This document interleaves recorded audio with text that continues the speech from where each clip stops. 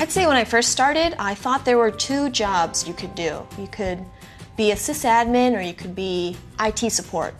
But that's completely false. There's like huge amounts of opportunity in IT. You could be specialized in networks, you could be specialized in databases or like reliability engineering. I'd say, you know, it doesn't matter if you're a guy, a girl, an alien, IT is for everyone. It's just problem solving with tech, with technology, and anyone can do it. I know people who are in IT that have degrees in like liberal arts or like cooking and all these other things. People, people come from IT from all sorts of backgrounds.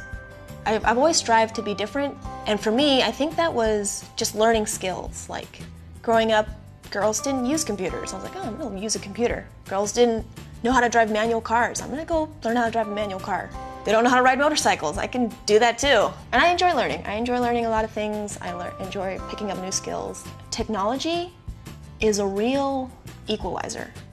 For people who don't have the current educational like background, you can load up a website, you can go to Coursera, all these learning websites, there's so much information on the internet.